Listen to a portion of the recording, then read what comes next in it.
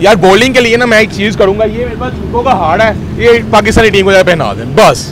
सत्रह साल पुराना जो रिकॉर्ड था वो टूट गया। इसकी वजह से वो बाब उलोर मारा गया था 2007 में।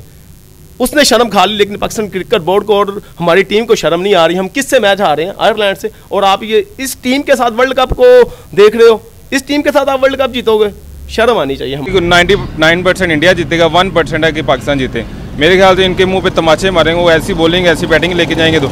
उनके मोहम्मद सिराज अब नए उनके यंगस्टर आ रहे हैं। आईपीएल में इतनी अच्छी परफॉर्मेंस दिखा रहे हैं। और ये आयरलैंड से जीत नहीं सकते हैं। आयरलैंड ने तो के रख दिया। एक ओवर में एक आखिरी ओवर में सिर्फ़ ग्यारह को अच्छा खासा टारगेट होता है जाना जिसको मार्जिन अच्छा खासा होता है। इनसे वो रोका नहीं गया। उन्होंने वो चीज़ करके दिखा दिया और ये इंडिया का मुकाबला करेंगे। पाकिस्तानी बॉलर्स की कल परफॉर्मेंस रही है ना शदाब खान इसने चार ओवर्स में फिफ्टी फोर रन दिखाए हैं। शहीन था इसने छब्बीस स्कोर खाए हैं। नसीम शाह जिस यो बड़ा, बड़ा हमारा यंगस्टर बॉलर बनता फिर रहा है इसको सैंतीस स्कोर बढ़े अगर यही परफॉर्मेंस इनकी इंडिया के खिलाफ वर्ल्ड कप में हुई ना मेरे ख्याल से इनको दो दो के दुम्बा बनाएँगे इनको बंदर बना के वापस घर भेजें। अब्बर आज़म आए जी कप्तानों के कप्तान जिसको हमने पूरी दुनिया का कहते हैं जी ये बेस्ट बैट्समैन है। उसने क्या किया है? थ्री बॉल्स पे आप फिफ्टी सेवन रन कर रहे हो। पूरा मैच तो आप खा गए हो। जब मारने का टाइम आया आपने कैच दे के बाहर आ गए हो। सलाम सर बात कीजिए पाकिस्तान की टीम जो कि आयरलैंड के खिलाफ पहला मैच हार गई है। इतनी पुअर परफॉर्मेंस जो है पाकिस्तान की तरफ़ से में नज़र आई। पाकिस्तान की बॉलिंग जो कि एक्सपोज हो गई है यही बॉलिंग जाकर टी ट्वेंटी वर्ल्ड कप में क्या पाकिस्तान का साथ देगी? इस टाइप की बॉलिंग के साथ हम लोग अगर टी ट्वेंटी वर्ल्ड कप में इंडिया का मुकाबला करते हैं। यार, ये इंडिया वाला मुकाबला तो बड़ी दूर की बात है। पहले आयरलैंड की बात कर लो पाकिस्तान की बात कर लें। ये जो अगर हम लोगों ने आयरलैंड से भी हारना है, इस जैसी टीम से मतलब कि आयरलैंड अभी बहुत लो लेवल की टीम है। हम किसी दौर में बांग्लादेश की टीम को बहुत लो लेवल की टीम कहते थे। और इस टाइम वही, उसी उसी दर्जे पर खड़ी हुई है आयरलैंड की टीम अगर इसी लेवल पर आकर हमने आयरलैंड से जलील होकर इतना स्कोर खा के हारना है मतलब इतना स्कोर स्कोर किया किसने? है बाबर ने। कितना पचास स्कोर किया है। फिफ्टी करके बस यही है कि फिफ्टी करनी है, मैंने शॉर्ट मारनी है मैंने आउट हो जाना है। पर अपना हक अदा करना है, मेरे ऊपर कोई बात ना आए, मैं अपना स्कोर करूँ, मेरे, मैं निकल जाऊँ यहाँ से।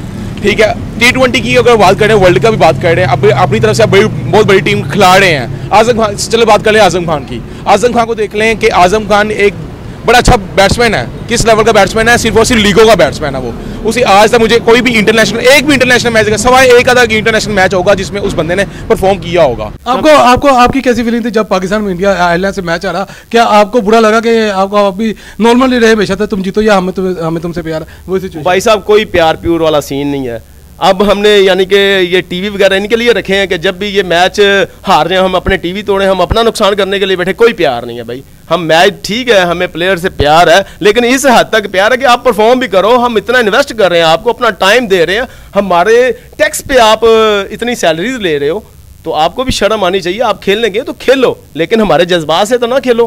कहना हम लोग पाकिस्तान की बॉलिंग पे बात करते हैं बड़ी बातें होती थी कि पाकिस्तान की बॉलिंग वापस आ चुकी कम बैक हो गया शहीन आ गया नसीम आ गया ठीक है हिम्मत अफरीदी आ गया। अब सारों की यानी कि वो, वो, वो जो बॉलिंग है वो एक्सपोज हो गई पाकिस्तान की बॉलिंग भाई किसी ना काम की इनकी बॉलिंग है किसी ना काम की इनकी बॉलिंग शहीन है पूरी दुनिया में इसको पता नहीं क्या समझते हैं ये लोग किसी ना काम का बॉलर है वो। आयरलैंड जैसी टीम से इतने इतने रन खा रहा है, सिर्फ़ एक विकेट ले रहा है। अफरीदी है, उसको लेके आए हैं। चल, मानते हैं वो एक अच्छा बॉलर है। नसीम शाह, वो भी किसी ना काम की उसकी परफॉर्मेंस है इस शदाब, उसको इन्होंने लाडला बनाया हुआ पता नहीं क्या समझ है उसको एक किसी ना की परफॉर्मेंस है, ना बैटिंग में, ना बॉलिंग में, और उसको नायब कप्तान बनाया हुआ मेरे ख्याल से इनको फारी करना चाहिए। जो यंगस्टर्स है, जो मेहनत करने वाले लड़के हैं, उनको लेके आना चाहिए मेरिट पे लेके आना चाहिए। नहीं तो जिस मैच में ये पहली, दूसरी बॉल में, तीसरी बॉल में, हाथ छठी बॉल पर यह बंदा आउट होता है। इस बंदे का कोई लेवल नहीं। मतलब ये इंटरनेशनल क्रिकेट ये बंदा खेल नहीं सकता। इसे सिर्फ़ अपना बताया वज़न बढ़ाना है, इसके बाद एक अच्छा लॉजिक इसने बढ़ा हुआ है कि मेरे पास मेरा अपना वज़न कम करूँगा तो उससे मेरी पावर हिटिंग खत्म हो जाएगी। ऐसा थोड़ी होता है। फिटनेस भी किसी चीज़ का नाम है। नसाई में बहुत अच्छा वो जब भी वो वो फिफ्टी करे ना करे, वो बंदा टीम के लिए खेलता है। उसने आते साल उसने तेज़ खेलना है। टी ट्वेंटी रैंकिंग के साथ तेज़ खेलना है और उसने हद पैंतीस, चालीस स्कोर करके उसने आउट हो जाना है। उसने कोई अपनी फिफ्टीन देखनी पड़ के आउट हो जाना है। रिजवान की बात कर ले, रिजवान साहब तो आते हैं, रिजवान साहब आते हैं, वो पिच पर खड़े हो जाते हैं और देखते हैं कि मैं वनडे खेल रहा हूँ। टी ट्वेंटी मैच है भाई, तू तेज़ खेल। टी ट्वेंटी मैच में स्लो खेलने का फ़ायदा ही नहीं है। आगे वाले विकेट जो मार रहे हो खेलना आप लोगों ने ये चाचा एंड पे आकर स्कोर कर गया, नहीं तो छत्तर बढ़ने थे अगर अगर बैटिंग को देखा जाए, मोहम्मद रिजवान और साइम यूब आए हैं। चलो बैट लक होगी रिजवान के साथ, उसका ट्रैक हिस्ट्री देखा जाए, रिजवान बहुत अच्छा बैट्समैन है, लेकिन वो अनलकी वो आउट हो गया जल्दी। फिर उसके बाद बाबर आज़म आए जी, कप्तानों के कप्तान, जिसको हमने पूरी दुनिया का कहते हैं जी, ये बेस्ट बैट्समैन है। उसने क्या किया है? फोर्टी थ्री बॉल्स पे आप फिफ्टी सेवन रन कर रहे हो। पूरा मैच तो आप खा गए हो। जब मारने का टाइम आया, आपने कैच दे के बाहर आ गए हो। आपको चाहिए टीम को लेके चलते ना। फिर उसके बाद हम देखते हैं फहर जमान को, जिसको हमने बहुत सर पे चढ़ाया हुआ है। उसने क्या किया? अठारह बॉल पे बीस रन शर्म आनी चाहिए यार ऐसी बैटिंग लाइन को। अगर इफ्तार ना होता तो मैं समझो ये 120 पे ऑल आउट होगी थी।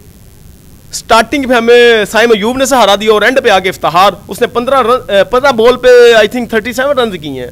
तो शर्म आनी चाहिए ऐसे बैट्समैन को। उसके बाद बॉलिंग को देखा जाए। बब इसको शदाब को, आप कहते हैं जी, ये यंगर है, हमारा जी, इस, इसने फ्यूचर को आप इसको कप्तान बनाने जा रहे हो यार। ओसामा मीर उसका आप पीएसएल देख लो। पीएसएल में उसकी क्या परफॉर्मेंस थी? उसके साथ लास्ट जो हमारी ये टूर्नामेंट था क्या नाम है न्यूजीलैंड के साथ उसमें भी आपको ओसामा मीर ने सहारा दिया और आप उसको तरजीह दे रहे हो शदाब पे और आप कह रहे हो जी शदाब उससे बेटर है। देख लिया शदाब ने 50 रन फिफ्टी फोर रन दिए आई थिंक फोर ओवर में। कोई कोई भी उसको विगड़ नहीं मिली और उसकी वजह से हम मैच हार गए। और ये मुझे लगता है कि वो भाई, सबसे पहले तो हम इनकी बैटिंग देखनी चाहिए, जो बाबर आज़म है हमारा कप्तान, इसको दोबारा जो कप्तान लेके आए हैं, मैं मैं ये पूछ रहा हूँ, इसको किस बेस पे पहले कप्तान दोबारा लेके आए मेरे ख्याल से इन सबको टीम से निकाल देना चाहिए। एक तो ये चीज़, इनको आर्मी का कैंप दिलवाया इन बंदों को। आर्मी का कैंप लेने के बावजूद इनकी इतनी गंदी हालत है ये। अगर आर्मी का कैंप ना हो तो मेरे ख्याल से अगर ये 200 स्कोर करते 300 करते, इन्होंने वो भी खा लेना था। मेरे ख्याल से इनको अपनी टीम पे बैटिंग पे फोकस करना चाहिए। बैटिंग पे बेहतरी लानी चाहिए जो गंदे पीले इनके बैट्समैन है सारे इनको फारग करना चाहिए। बॉलिंग बॉलिंग पे आ जाए चले। अब हम पाकिस्तान की बॉलिंग भी आ जाए। पाकिस्तान की बॉलिंग वर्ल्ड क्लास बॉलिंग कही जाती है कि हमारे पास जो शाहीन अफरीदी साहब है ना वो हमारे पास एक, ना थम मिल गए हमें कि वो बहुत बड़ा बॉलर है कि उसके पास पहले दो नए बॉल के साथ दो पहले दो ओवर करवा दो। तो वो बड़ा तेज अच्छा एक आधी विकेट निकाल लेता है और उसकी बस शोहियाँ देखने वाली होती हैं। उसके पास बंदे की स्पीड देख लें। आयरलैंड की टीम को उसने इतना इतना होला लिया हुआ था कि उसकी स्पीड एक सौ पच्चीस सौ तीस ओवर स्पीड नहीं निकली। चार ओवर में उस बंदे ने चालीस कोड खा लिया। अगर इस बंदे ने भी इधर ही इतना स्कोर खाना है इस, इस जैसी टीम से तो इस बंदे पर लान आता है। पाकिस्तान की टीम इतनी बुरी तरह हार गई है। ये सिर्फ़ यानी कि पाकिस्तान की बॉल जो बॉलिंग थी उसकी वजह से हारी थी। स्कोर तो पाकिस्तान की टीम का ठीक था एक सौ अस्सी स्कोर ठीक था। यार बॉलिंग के लिए ना मैं एक चीज़ करूँगा ये मेरे पास का हार्ड है ये पाकिस्तानी टीम को पहना दे बस। इनके पास ये मगर ये वही बात है कि इन्होंने आमिर को साल लाना है तो फिर उनके इनसे बॉलिंग होनी है। क्या कहेंगे पाकिस्तान टीम जैसे यानी कि बाबर की परफॉर्मेंस इफ्तार की परफॉर्मेंस उसके बाद रिजवान जो जो पहले ओवर में आउट हो गए क्या कहेंगे इनके बारे में? भाई मैं तो मेरा तो यही कहना है कि ये बंदे एक्सपायर हो गए हैं। एक दो बंदों पे टीम नहीं चलेगी। बाबर फिफ्टी कर गया ना होने के काबिल है। चालीस पचास बोले खेलनी और पचास ही स्कोर किए ये कोई स्कोर नहीं है टी ट्वेंटी में। ये तो कम अज़ कम वनडे का स्कोर है। इसको कम अज़ कम तीस बॉलों पर फिफ्टी होनी चाहिए। अगर इस टीम से इन्होंने हारना है तो ये वर्ल्ड कप में क्या करेंगे? इंडिया के आगे तो ये मेरे ख्याल से ज़रा भी नहीं टिक पाएँगे। नौ जून को पाकिस्तान और इंडिया का मुकाबला होगा ये टीम के साथ अगर जाते हैं तो इंडिया कैसी हमें मार मारेगा? मेरे ख्याल से नाइन्टी नाइन परसेंट इंडिया जीतेगा वन परसेंट है कि पाकिस्तान जीते। मेरे ख्याल से इनके मुँह पे तमाचे मारेंगे वो ऐसी बॉलिंग ऐसी बैटिंग लेके जाएँगे तो। उनके मोहम्मद सिराज अब नए उनके यंगस्टर आ रहे हैं। आईपीएल में इतनी इतनी अच्छी परफॉर्मेंस दिखा रहे हैं। मेरे ख्याल से इनके मुँह पे तमाचे मारेंगे, वो इनको पूरी दुनिया में जलील करेंगे आमिर के अलावा इनसे होलिंग नहीं होनी। आमिर ने आगे प्रेशर डालना है प्लेयर्स पे तभी ये बॉलिंग करके अपनी विकेट निकाल लेंगे। ऊपर साहब सही कहते हैं ना।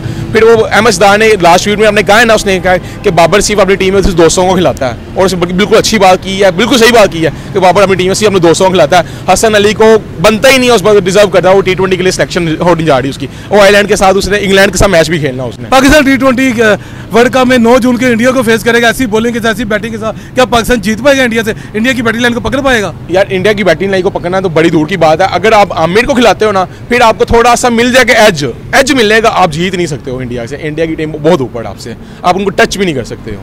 सत्रह साल पुराना जो रिकॉर्ड था, वो टूट गया। इसकी वजह से वो बावुलर मारा गया था 2007 में। उसने शर्म खा ली, लेकिन पाकिस्तान क्रिकेट बोर्ड को और हमारी टीम को शर्म नहीं आ रही। हम किससे मैच आ रहे हैं? आयरलैंड से। और आप ये इस टीम के साथ वर्ल्ड कप को देख रहे हो। इस टीम के साथ आप वर्ल्ड कप जीतोगे।